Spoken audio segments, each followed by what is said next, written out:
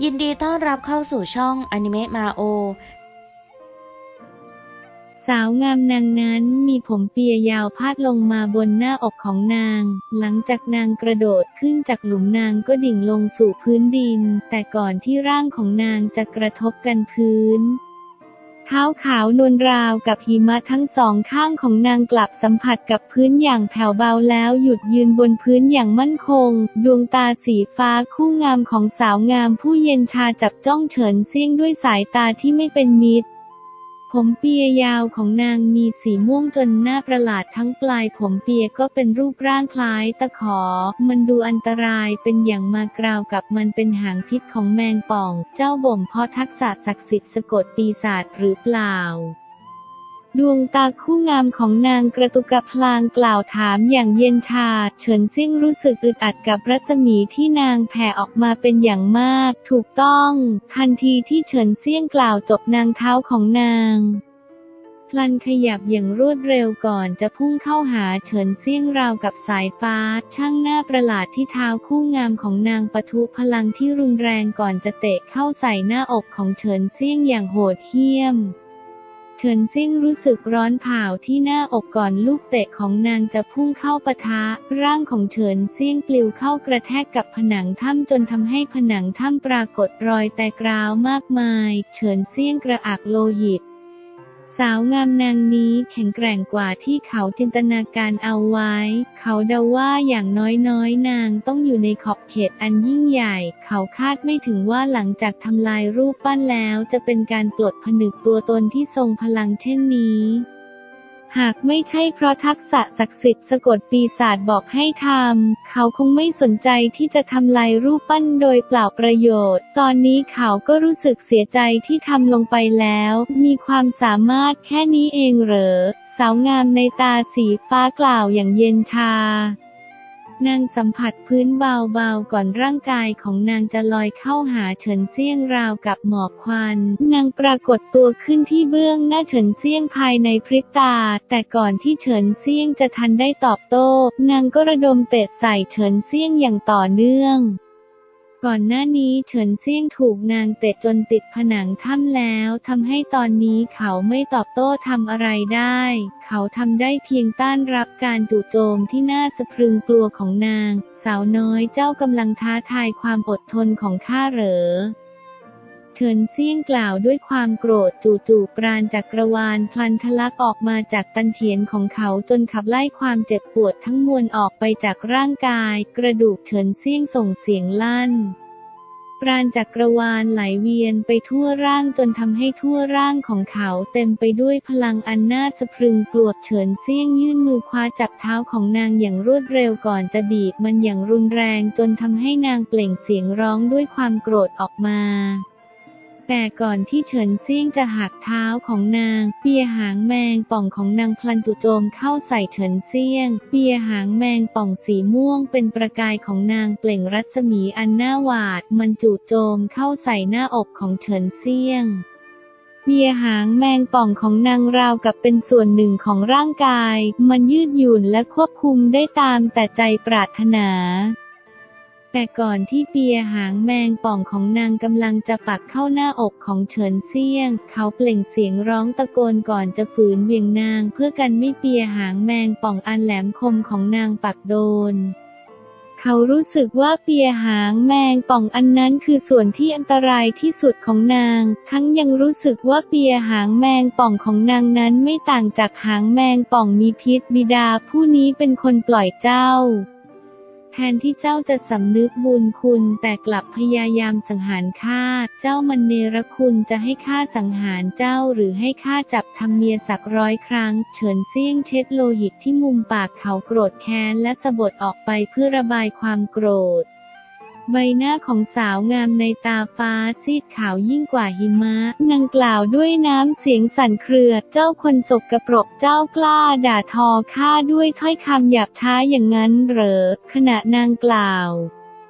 ร่างกายของนางพลันไหววูบก่อนจะทะยานเข้าใส่เฉินเซี่ยงอีกครั้ง ทักษะความว่องไวของนางนับว่าแปลกมาก นางรวดเร็วราวกับแสงรวดเร็วในขณะที่ไม่อาจหาร่องรอยของนางพบเพียงแต่เฉินเซี่ยงเองก็บ่มเพาะเสริญเต้า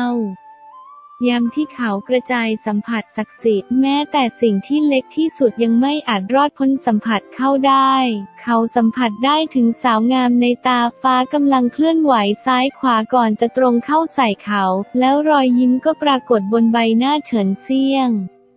ในจังหวะที่นางกำลังจะถึงตัวเขา เขาซัดฝ่ามือหลอมกระดูกเข้าใส่นางอย่างโหดเหี้ยม เสียงระเบิดดังสนั่นทั่วทั้งท้องภูเขาทั้งบังเกิดรอยแยกขึ้นมากมาย ภูเขาสั่นสะเทือนจากการระเบิดเมื่อครู่ แต่นั่นกลับทำให้เฉินเซี่ยงประหลาดใจ เพราะการจู่โจมของเขาไม่ได้ส่งร่างของนางให้ปลิวออกไปอย่างที่คิดทั้งยังไม่ทำให้นางบาดเจ็บเลยแม้แต่น้อย เฉินเซี่ยงเหลือบมองไปยังทางที่เขาเข้ามาเขาใช้ออกด้วยฝ่ามือหลอมกระดูก เมื่อครู่พลังอันลึกลับของกระบวนท่าที่สามารถหลอมกระดูกได้กลับไม่มีผลกับนาง เฉินเซี่ยงรู้สึกได้ถึงความต่างระหว่างความแข็งแกร่งของทั้งสอง ตัวเลือกที่ดีที่สุดของเขาได้หลุดลอยไปแล้ว นั่นมันฝ่ามือหลอมกระดูกเจ้าไปเรียนมาจากไหน น้ำเสียงของสาวงามในตาฟ้าแฝงไปด้วยความประหลาดใจ เมื่อเห็นว่าเฉินเซี่ยงกำลังจะหนี